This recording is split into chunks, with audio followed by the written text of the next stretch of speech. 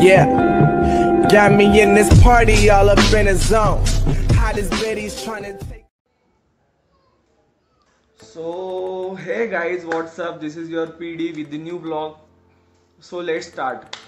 सो so, आज का vlog बहुत ही इंपॉर्टेंट होने वाला है जैसे कि मैंने स्टार्टिंग में एक पीडीएफ बनाई थी और सबको शेयर की थी कि मोदी के मोदी साहब की सात बातें तो शायद बहुत लोग हैं, वो भूल चुके होंगे तो मैं उनको रिवाइज करना चाहता हूँ। और उसके साथ साथ मैं मेरी दस इंपॉर्टेंट बातें बताने वाला हूँ आपको।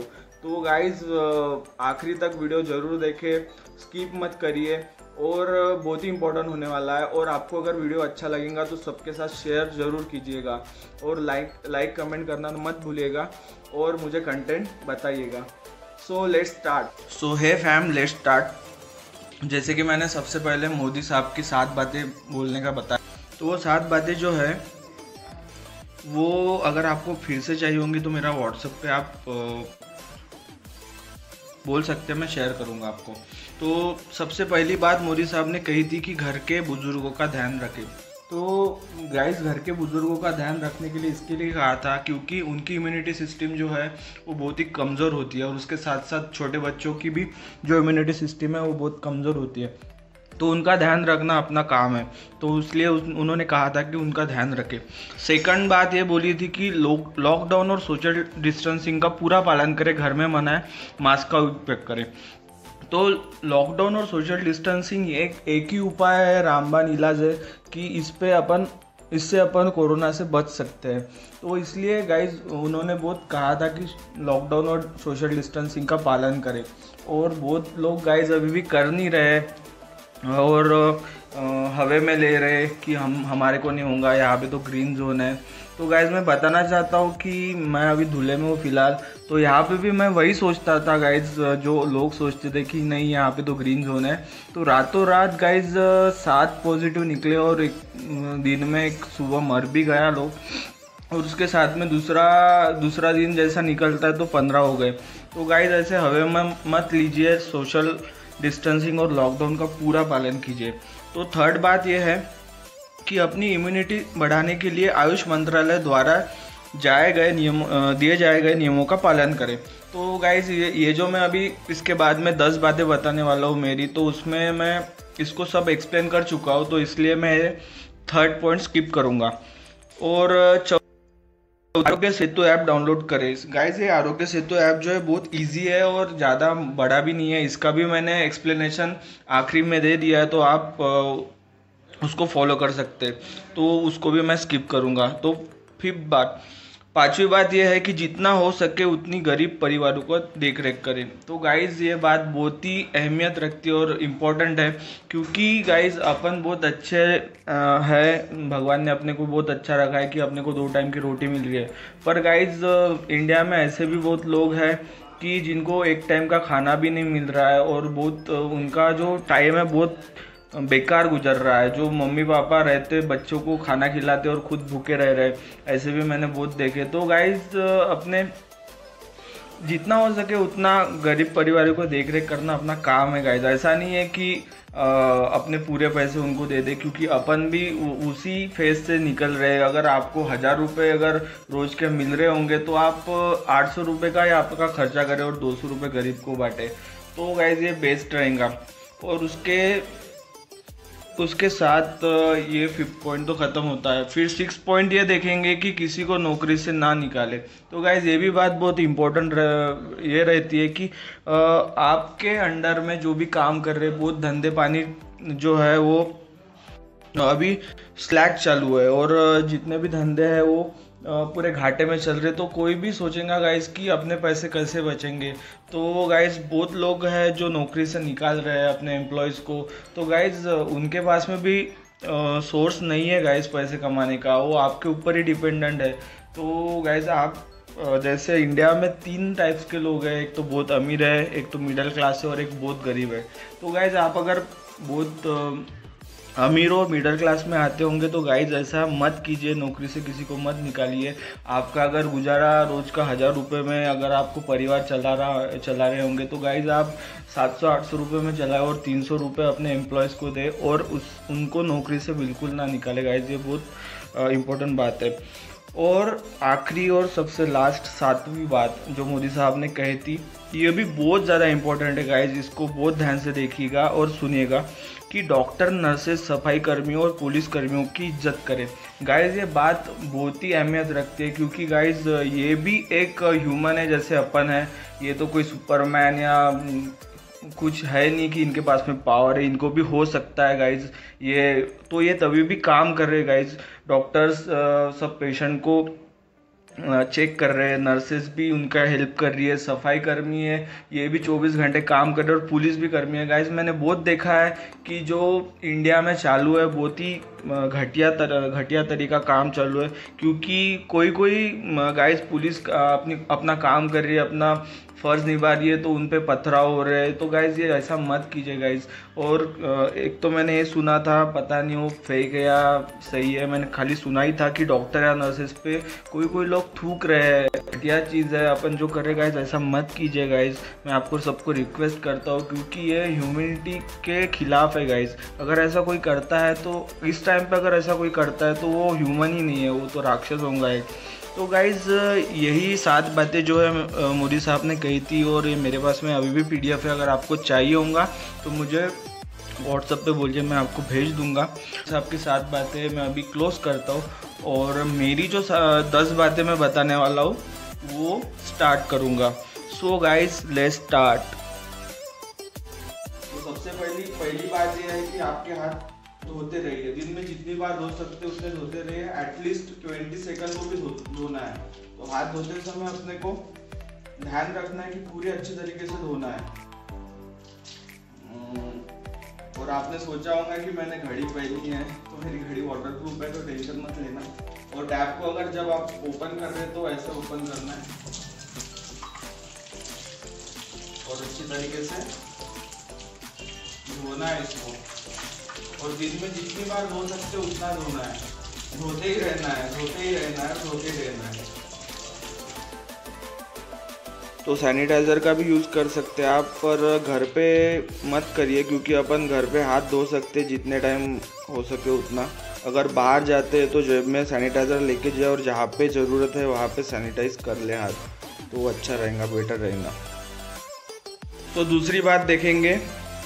उठते बराबर फ्रेश होने के बाद अपने को काढ़ा पीना है। काढ़ा पीने के लिए अपने को सबसे पहले हल्दी लेना है थोड़ा सा मीरा लेना है तुलसी के पत्ते, अदरक, लवंग, दालचीनी, सूंठ और थोड़ा सा हनी लेना है। इसको सबको पानी में डाल के 20 या 30 सेकंड तक होने देना है और छान के पीना है। और इसके साथ साथ आप ग्रीन टी का भी यूज़ कर सकते हो, ये बहुत फ़ायदेमंद है और एंटीऑक्सीडेंट मानी जाती है। तो ग्रीन टी भी आप दिन से दो या तीन बार पी सकते हो, बहुत सेहत के लिए अच्छा है। इसमें कुछ भी नहीं करना पड़ता है, खाली गर्म पानी करना पड़ता है और उसके बाद में ये जो इसका शैशे है, ये जो इसका सैशे है, वो गर्म पानी में भिगो के रखना है, बीस या तीस सेकंड और पी लेना है, बहुत अच्छा रहता है, सेहत के लिए। आड़े को ऐसे सुखाड़े को ऐसे उबलना है और थोड़ा पानी जो है वो कम होने देना है उसका और उसके बाद में छान के पी लेना है। बहुत सेहत के लिए फ़ायदेमंद रहेगा। सो जाएँगे अभी तीसरी बात के ऊपर। तीसरी बात तो ये है कि अगर अपने आसपास कहीं च्यवनप्राश मिलता होगा तो च्यवनप्राश लेके आइए।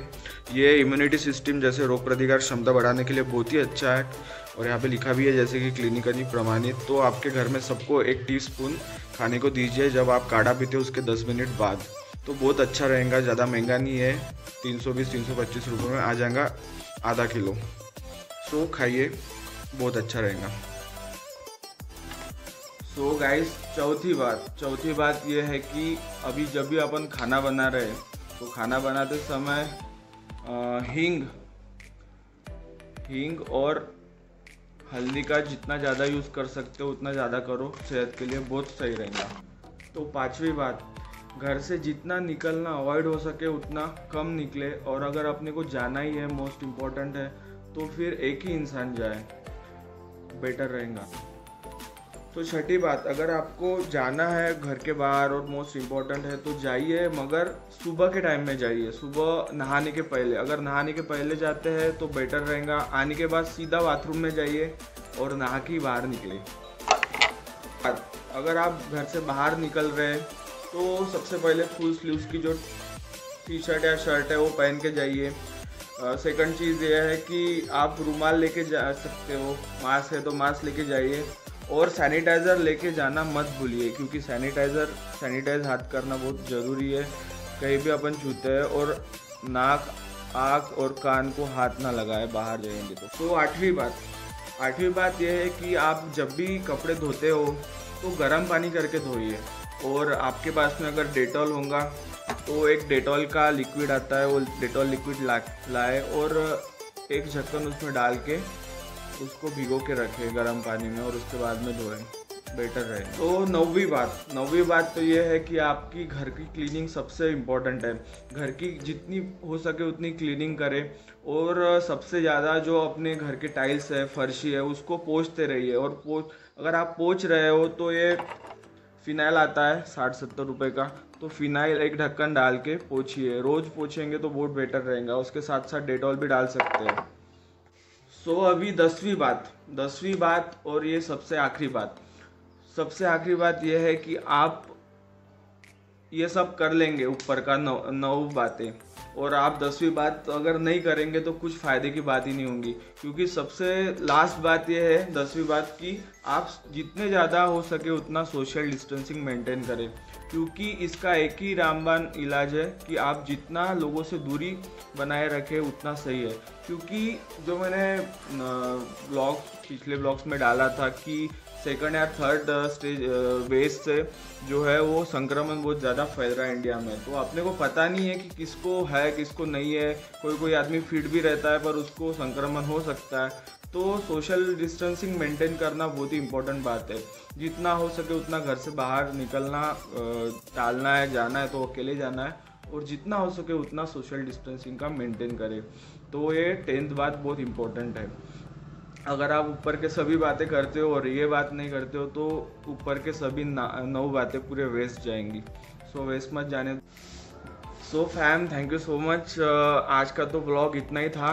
और मैंने जैसे कि बताया था पिछले ब्लॉग में कि मुझे कोई भी अच्छा कंटेंट अगर कोई सजेस्ट करता है तो मैं उसके फ़ोटो के साथ में नाम लेकर उसका इसमें इंट्रोड्यूस करा दूँगा। तो वही मेरे को अभी एक मेरी प्रांजलि गुल्लाने करके एक मेरी फ्रेंड है, बहुत ही अच्छी फ्रेंड है और बचपन से है तो उसका आज बर्थडे भी है तो विशू मैंने मैंने happy returns of the day बारके।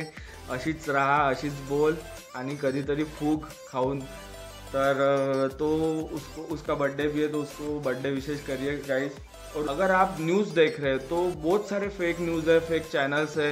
उसमें बहुत सारी बातें इधर उधर की बताते और लोग उसको फॉरवर्ड करते तो ये बहुत गलत बात है. उसमें से गलत फहमी बहुत बढ़ती है. तो बेस्ट है कि आप जो अभी इंडिया में फ़र्स्ट चैनल चल रहा है आज तक तो जो आज तक वाले हैं, वो बहुत सोच समझ के और पूरा सर्वे करके अपना चैनल चलाते इसलिए वो नंबर वन चैनल है तो मैं रिकमेंड करूँगा वही चैनल आप देखें और उसकी लिंक मैं डिस्क्रिप्शन में दे दूँगा। तो अलग से ऐप कुछ डाउनलोड करने की ज़रूरत नहीं है यूट्यूब पे भी लाइव आता है वो चैनल तो लाइव देखिए। के साथ बातें उसमें बताया था कि आरोग्य सेतु ऐप भी डाउनलोड करना बहुत नेसेसरी है तो आ, सही है वो बात भी क्योंकि ढाई या तीन एम का ऐप है खाली। और उसमें बहुत अच्छे तरीके से समझा, उसका एक्सप्लेनेशन देने की ज़रूरत नहीं है। ढाई या तीन एमबी का ऐप डाउनलोड करके उसमें अपने को नंबर डालना है खाली और उसको रजिस्टर्ड करना है। उसके बाद में उसमें बहुत सारी चीज़ें हैं न्यूज़ है, उसके बाद में प्रिकॉशंस है, मैंने जो भी बताई उस, वही। और उसके साथ में अब सबसे बेस्ट है कि वो जीपीएस लोकेशन ट्रैक करता है। जैसे कि अपन जहाँ पे है, उसकी लोकेशन ट्रैक करके अपने आसपास कितने दूर पॉजिटिव पेशेंट है और अपने को अलर्ट करते रहता है। तो बेस्ट है, उसकी भी ऐप की लिंक मैं डिस्क्रिप्शन में दे दूँगा। तो सो गाइज़ वही आज के लिए बस इतना ही। अगर आपको मेरा वीडियो अच्छा लगा होगा तो make sure you subscribe my channel and share with your friends और ऐसा ही मुझे कंटेंट दीजिए। आप जो भी कंटेंट देंगे, मुझे अच्छा लगेगा तो मैं उस पर उसके ऊपर ही वीडियो बनाऊँगा और आपका भी इंट्रोडक्शन दूँगा उसमें। सो so गाइज़ मुझे कंटेंट दीजिए।